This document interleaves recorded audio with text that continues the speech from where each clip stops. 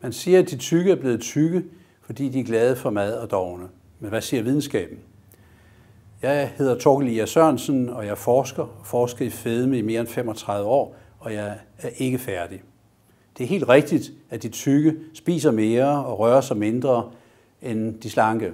Men det skyldes, at deres tungere, større krop har brug for flere kalorier for at fungere, ligesom den har brug for flere kalorier til at kunne bevæge sig.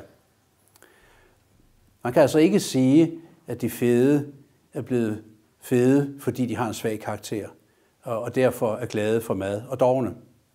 Men hvad skyldes det så? Der er ingen tvivl om, at øh, de gener, man har fået fra sine forældre, og det miljø, man vokser op i, det samfund, man vokser op i, har afgørende betydning.